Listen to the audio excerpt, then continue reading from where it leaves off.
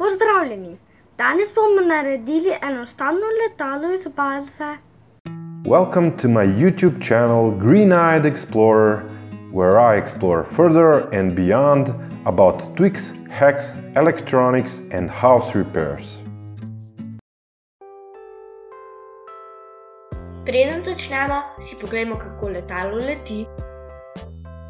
Ob koncu videa pa bomo razkrili trike, kako narediti letalo bolj trpežno. Kaj potrebujemo? Rezalno podlago, letvico iz balze, deščico iz balze, lepilo za les, oster nož ali skalpel, ravnilo, zobotrebec, nekaj lego kock, plastelin, svinčnik. Izrez delov letala. Najprej bomo izrezali dve krili, vsako 18 x 3 cm. Najprej izmerimo 18 cm na vrhu in na dnu. Narišimo umestno črto. Nato označimo 2 x po 3 cm na vsaki strani in nežno izrežemo krila.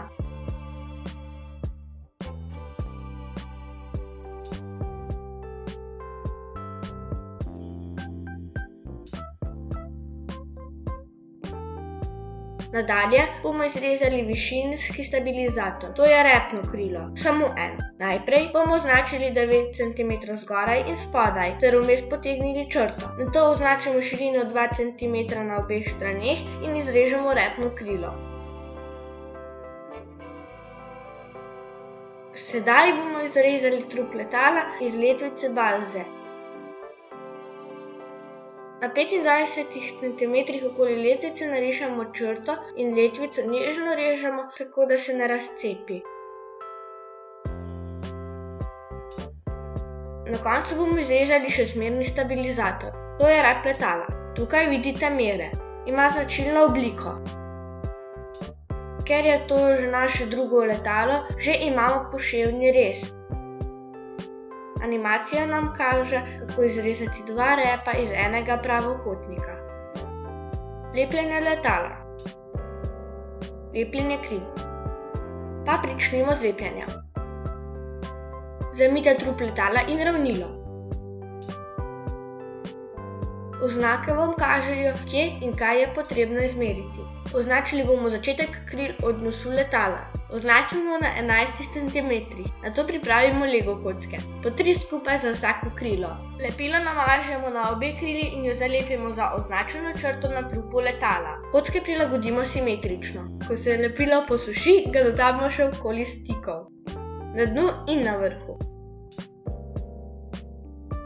Lepljenje repnega krila. Zalepimo repno krilo. Izmerimo in označimo sredino krila. Na obeh straneh. Sedaj namažemo lepilo na črto in ga zalepimo na telo letala. Lepljenja repa. Na koncu bomo zalepili rep. Pripravimo lego kocke. Le te bodo podpirale rep, da bo pod pravim kotom. Nasveti. Nasvet 1. Vedno izberite oster, nepoškodovan nož, da ne boste cefrali baleze. Nasvet 2.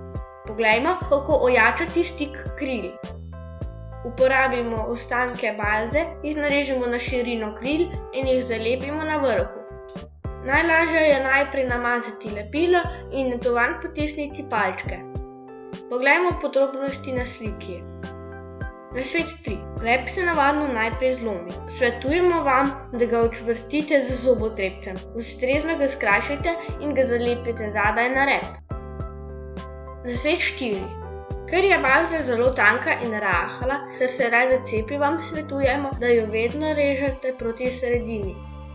Zaradi tega tudi uporabljajte oster nož in režite pod nizkim kotom. Uravnoteženje letala.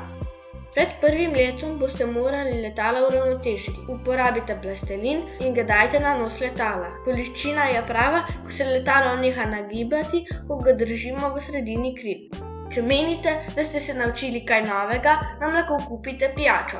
Povezava je pod videom. Lahko nas podpirate tudi mesečno preko Patreona. Ne pozabite všečkati našega videa, delite ga s prijatelji in naročite se na naš kanal. Če vas še kaj zanima, ne vprašajte spodaj v komentarjih.